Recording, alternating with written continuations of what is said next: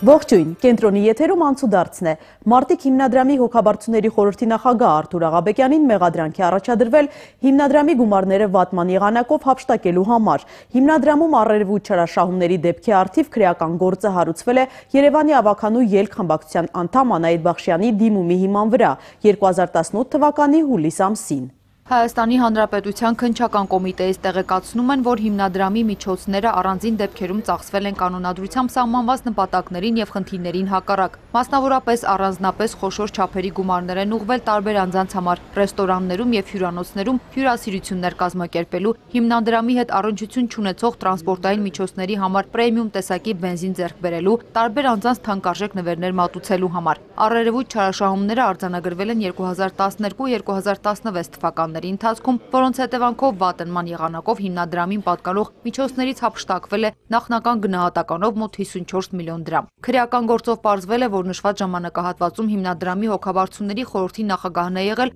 Արթուր Աղաբեկյանը, որն ունեցել է հիմնադրամի աշխատակազմի գործունեությունն անմիջականորեն ղեկավարելու իրավասություն եւ փաստացի միանձնյա է տնօրինել հիմնադրամի գույքը։ Բավարար տվյալներ են ձեռք բերվել նաև առ այն, որ հիմնադրամի միջոցների մի մասը ծախսվել են այն հանգստյան գոտու ռեստորանում հյուրասիրությունների կազմակերպման համար, որի բաժնետոմսերի 40%-ը պատկանել է Արթուր Աղաբեկյանին։ Մինչ դատական վարույթում ձեռք բերված ապացույցների հիման վրա օգոստոսի 29-ին Արթուր Աղաբեկյանին մեղադրանք է առաջադրվել Հայաստանի Հանրապետության քրեական օրենսգրքի 179-րդ հոդվածի 3-րդ մասի առաջին կետով։ Նրա նկատմամբ որպես խափանման միջոց է ընտրվել ստորագրություն չհեռանալու մասին։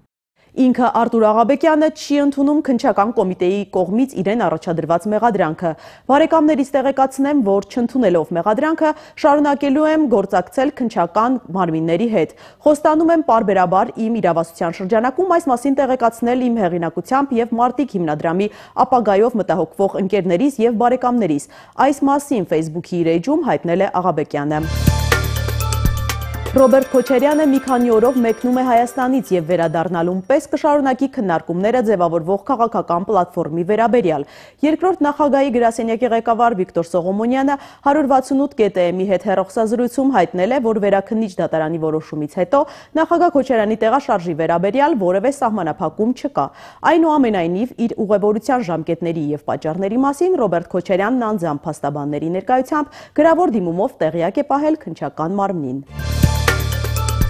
Երեկ ավարտվել է Հայաստան համահայկական հիմնադրամի գործադիր տնորենի թափուր պաշտոնի համար հայտարարված մրցույթին մասնակցելու վերջնաժամկետը, գրում է հրապարակը։ Նշեմ, որ հիմնադրամի նախագահին կընտրեն սեպտեմբերի 10-ին։ Հրապարակորաթերթի տեղեկություններով Հայաստան համահայկական հիմնադրամի գործադիր տնորենի թափուր պաշտոնի համար 35-ից ավելի դիմում է ստացվել, որոնց շարքում կան ամենահավանական ու անհավանական թեկնածուներ, սկսած պաշտոնյաներից վերջացրած գործարարներով, նաև շարքային քաղաքացիներ, որոշ դեպքերում խիստ абսուրդ թեկնածուներ։ Հիմնադրամից հրաժարվել են բացահայտել դիմումատուների ինքնությունը, նշելով, որ այդ ամենը գաղտնի է։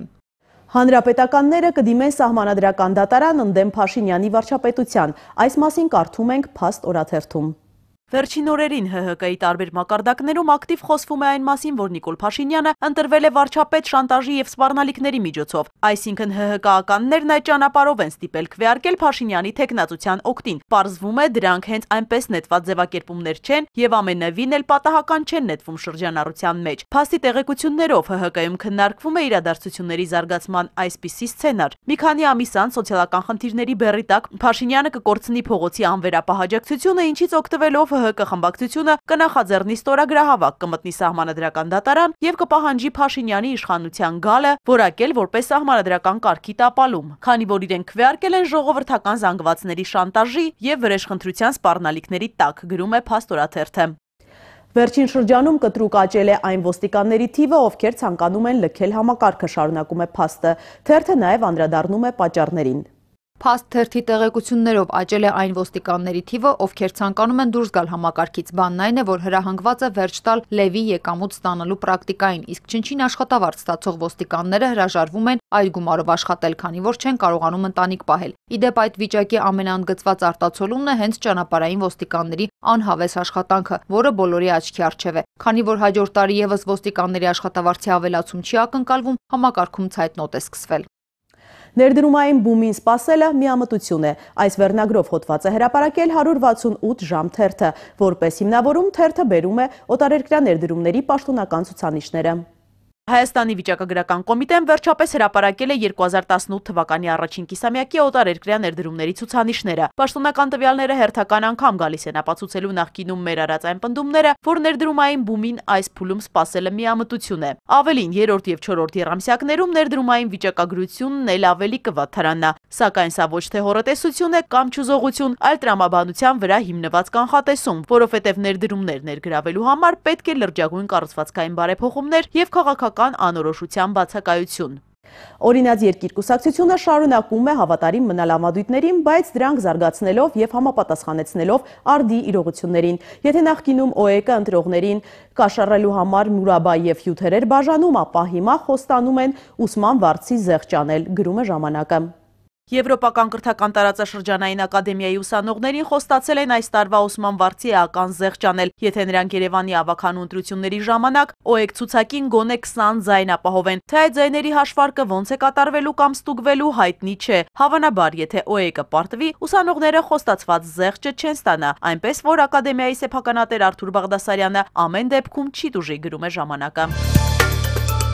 Արթուր Հարությունյանի սկանդալային պալաչի վերջին հայտարարությունների վերաբերյալ ի հայտ են եկել նոր հանգամանքներ, որոնց մասին մանրամասներ է ներկայացրել պալաչի նախկին ընկեր King Deluxe ընկերության նախկին տնորեն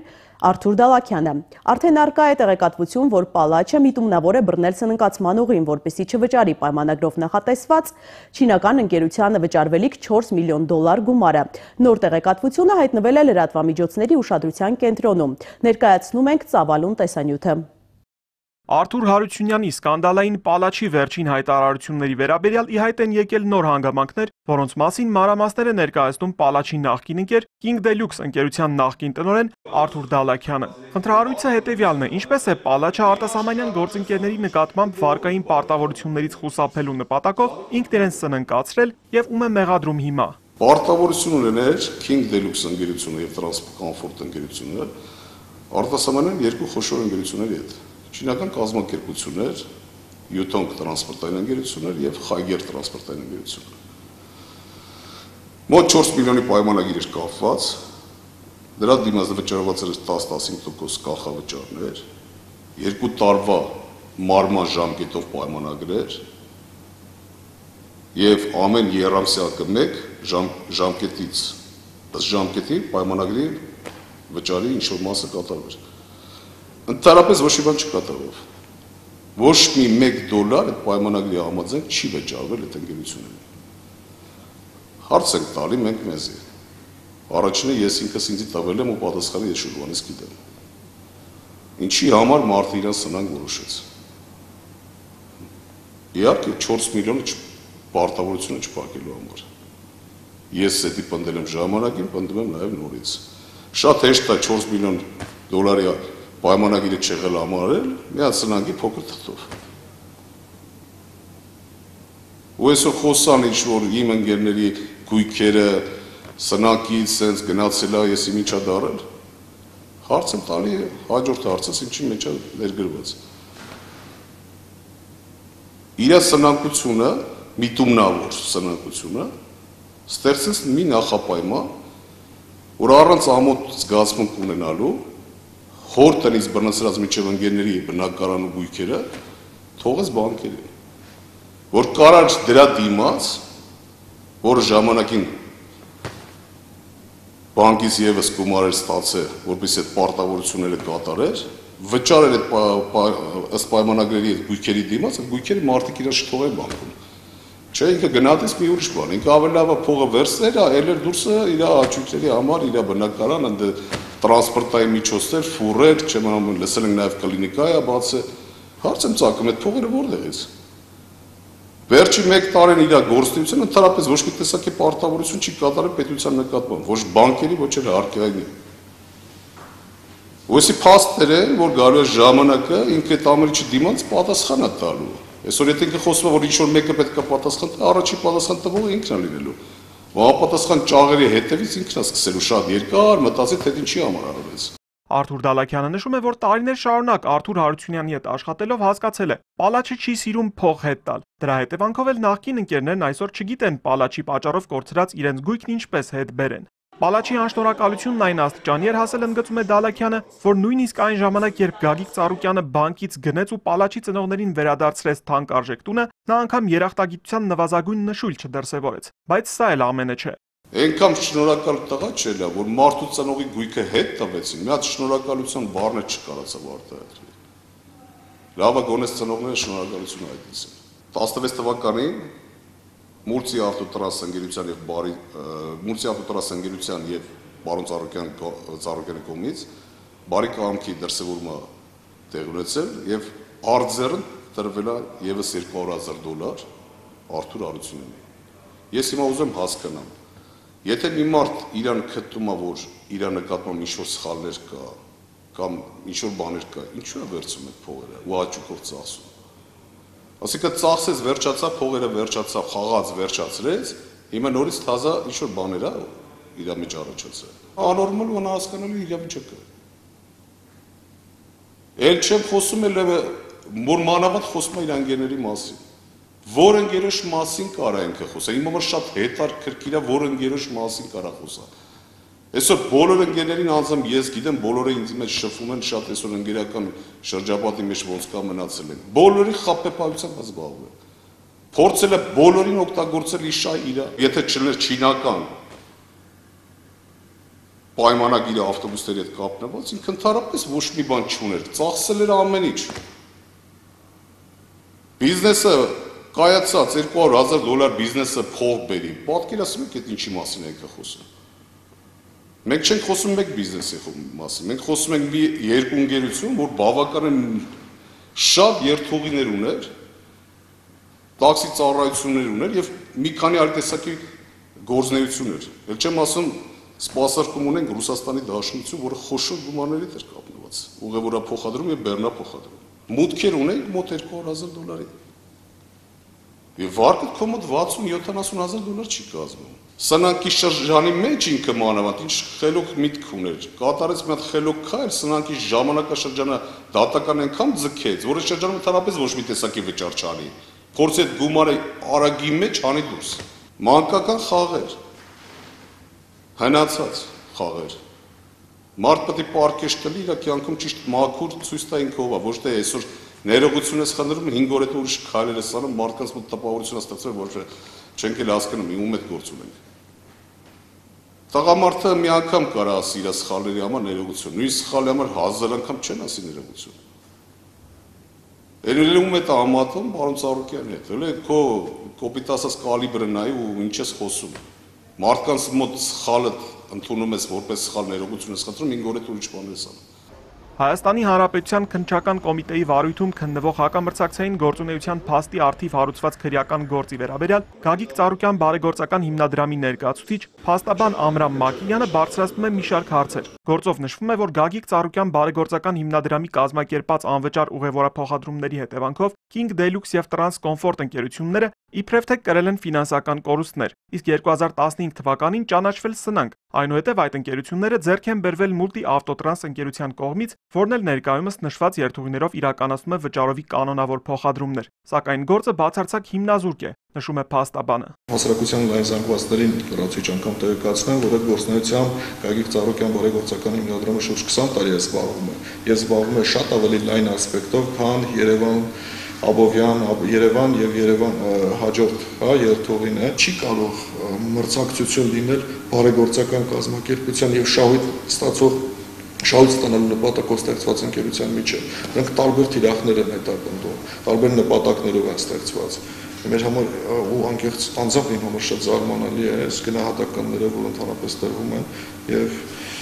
գործին ոչ տեղյակ մարդու մոտ կարող ինչ-որ ֆոն ստեղծել, բայց նորից եմ կրկնում, որ չի կարող բարեգործությունը ենթադրել գին, գնի ավելացում, գնի պահպանում, գնի նվազեցում, շուկա հասկացություն, խտրական մոտեցում, բարեգործության նպատակները այլ են, այլ է։ Մյուս կողմից ուզում իրավական ասպեկտով մի շատ կարևոր հանգամանքի վրա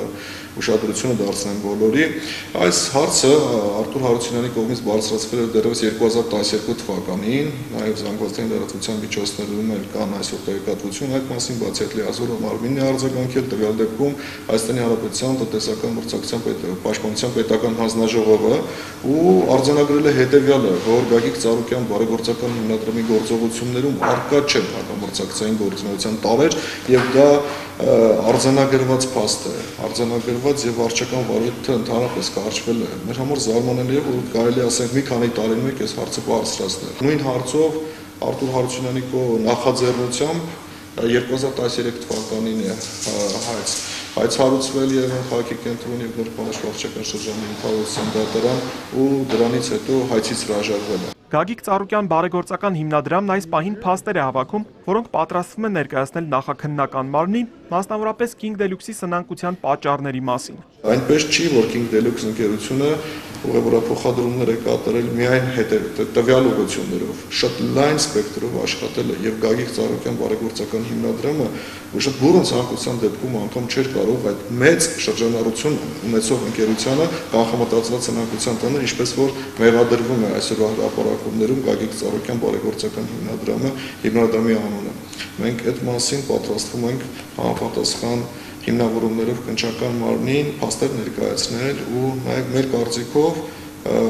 King Deluxe եւ տրանսկարտվոց ՍՊ ընկերությունների պաշտոնատար անձանց եւ հիմնադիրների ընդհանրապես հիմնադիրների, որովհետեւ այդ մեծ գործարքներով հիմնադիրների որոշումները շատ պարտադիր են ու վճռորոշ գործողություններում առերևույթ արկային կանխամտածված սնանկության հատկանիշներ։ Մենք փաստական տվյալներ ենք ձեռք բերել այն մասին, որ 2012 թվականից հետո ուրեմն King Deluxe եւ Transport Comfort ընկերությունները շատ մեծ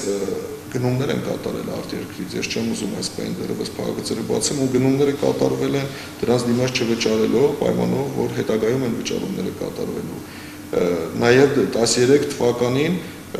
եթե չեմ սխալվում 1 միլիոն 700 հազար դոլար փառք է վերցվել Հայաստանում գործող առևտրային բանկերից։ Սրանք հարցեր են, որ կարծում եմ իրավական գնահատականի են գնահատականի են արժանի վարույթ իրականացնող մարմնի կողմից։ Փաստաբանն ամփոփում է. ընկերությունները կանխամտածված սնանկության տանելը քրեորեն պատժելի է եւ արդարադատության վերականգնման պարագայում պալաչն ինքն է պատասխանատվության ենթարկվելու։